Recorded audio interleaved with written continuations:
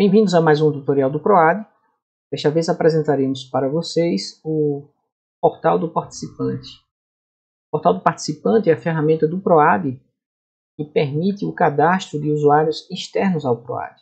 Todos os servidores do TRT13 já possuem acesso, através do seu login institucional, ao PROAD, mas os usuários externos nunca conseguiam acesso ao sistema para, por exemplo, fazer juntada de documentos.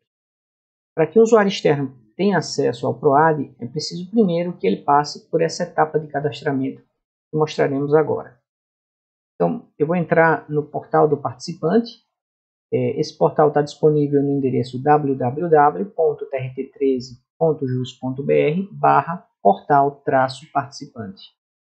A interface do sistema é bem simples, vocês veem aqui que tem apenas, é, além das configurações, né, que não, não é foco dessa apresentação, você tem a opção de cadastrar o usuário externo e ver as solicitações pendentes. O cadastro do usuário externo é feito em duas etapas. A primeira etapa, você cadastra os dados do usuário e é enviado um e-mail para ele. É, o usuário então confirma, através desse e-mail, o cadastro e então o cadastro é efetivado. Enquanto o usuário não confirma, através de um e-mail, o seu cadastro, ele vai aparecer aqui em solicitações pendentes.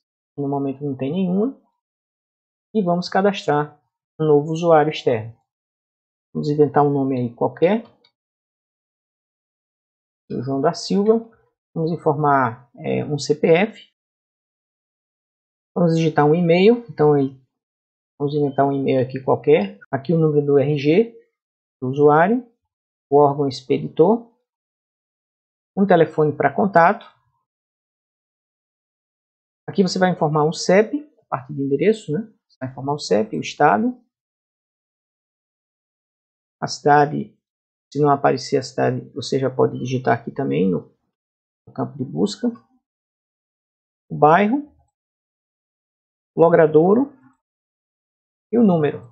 E aí você vai adicionar alguns documentos necessários para que esse usuário externo seja cadastrado no PROAD. Pode ser um documento de identidade, pode ser um contrato, se for uma pessoa representante de uma empresa, por exemplo, que tem interesse em um processo administrativo relativo a algum contrato, pode ser alguma procuração de algum advogado que represente alguma, algum servidor em algum processo administrativo, enfim, cabe aí ao gestor identificar a necessidade do documento para identificar esse usuário externo. E vamos selecionar dois documentos. Aqui eu tenho um PDF, que é do servidor João.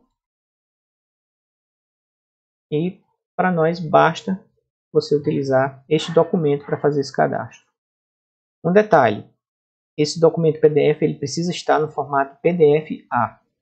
Caso você não consiga um documento no formato PDF-A, você pode utilizar o PROAD para converter um PDF comum em um PDF-A. Nós vamos mostrar no final desse vídeo como isso pode ser feito, caso o seu PDF seja recusado aqui pelo sistema. E aí, agora é só clicar em cadastrar.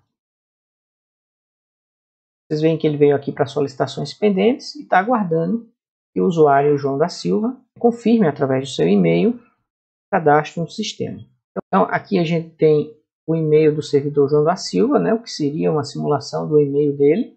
Ele entrou no Gmail, nesse caso aqui o PROAD de homologação ele sempre envia as mensagens para uma lista interna nossa, então a gente vai simular como se fosse o usuário acessando o seu e-mail. Então ele vai acessar aqui o e-mail, né? o e-mail tem como assunto PROAD TRTPB liberação de acesso, e ele precisa confirmar o cadastro dele clicando neste link aqui, ó, para liberar o acesso ao sistema, clique aqui e complete as informações necessárias. Então vamos clicar aqui nesse link ao clicar no link, o sistema vai pedir ao usuário externo que informe duas senhas, a senha de acesso e a senha da assinatura, para ele poder assinar documentos na hora de fazer uma juntada, por exemplo. Então, a senha de acesso, vamos criar uma senha de acesso aqui para ele, por exemplo.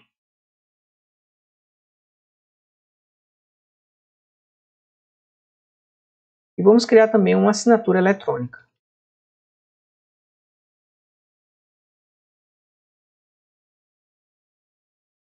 As senhas, pessoal, precisam ter no mínimo 8 caracteres.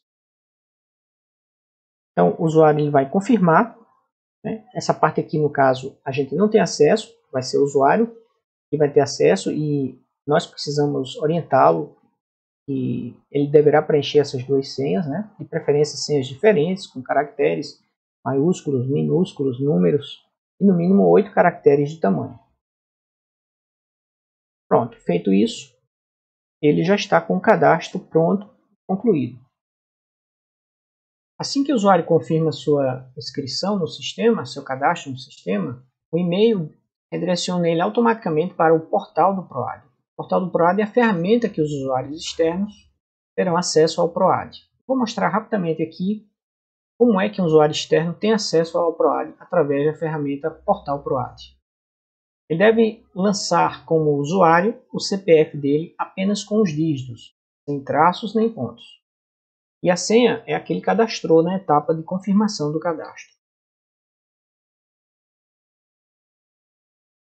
Feito isso, ele entra na ferramenta Portal ProAd e a partir daí ele pode ter acesso a processos, é, a juntada de documentos e outros assuntos que vão ser descritos em um vídeo específico no Portal ProAd. Então, voltando aqui para a tela, se a gente clicar novamente em solicitações pendentes, nós observamos que o usuário João confirmou o seu cadastro perante o PROAD. Então, o cadastro está realizado. Caso o usuário externo informe um documento PDF e não esteja no formato PDF-A, eh, caberá ao gestor, então, fazer uma, a transformação desse documento em PDF-A.